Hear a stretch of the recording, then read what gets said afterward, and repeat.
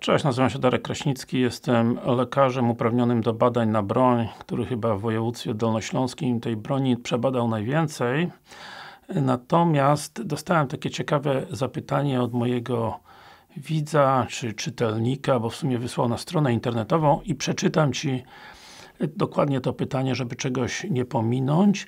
Dzień dobry, czy zna Pan lekarza, który łaskawie by podszedł do tematu, mm, że nie mam widzenia obuocznego w kontekście uzyskania pozwolenia na broń.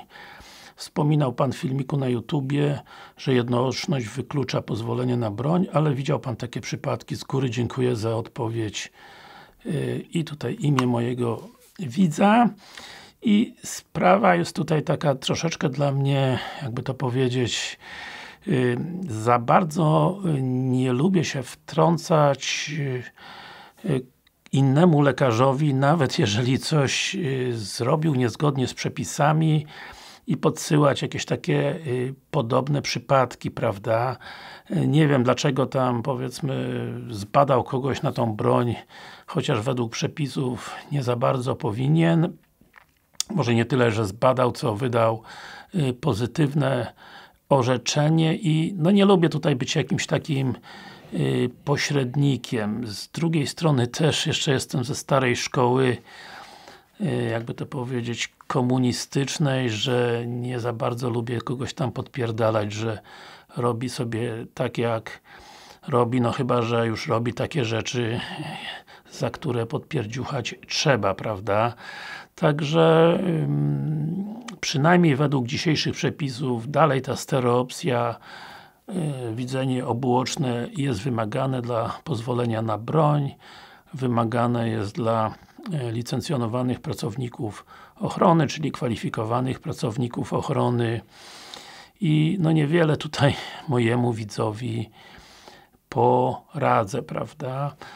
Niestety przepisy są jakie są, nie ja je wymyślałem, wymyśliła je jakaś tam dobra władza, przetrwały te przepisy dobrą zmianę, także być może nie są aż takie złe, pomimo tego, że w zasadzie jak się strzela, to się strzela.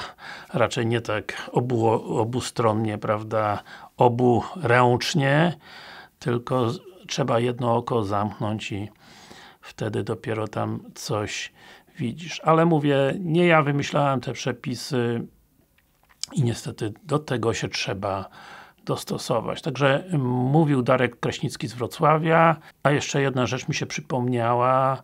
W sumie yy, bada oprócz psychiatry i lekarza uprawnionego do badań na broń lekarz specjalista okulista, czy lekarz okulista i on to yy, w sumie daje jakieś tam wskazówki lekarzowi y, uprawnionemu, a jeżeli lekarz uprawniony pomimo y, wskazówek, pomimo opinii okulisty no, wyda swoją jakąś opinię niezgodną z przepisami, to wtedy ponosi za to jakąś odpowiedzialność. No, raczej rzadko z bronią się tam jakieś rzeczy dzieją złe na strzelnicach, czy tam yy, gdzieś indziej, ale już na polowaniach czemu nie? Także jeszcze raz, mówił Darek Kraśnicki z Wrocławia. Mam nadzieję, że temat podsyłania do innych lekarzy, którzy troszeczkę robią inaczej niż się powinno, został zamknięty. Oczywiście tam gdzieś subskrypcja kanału, tutaj kolejny filmik.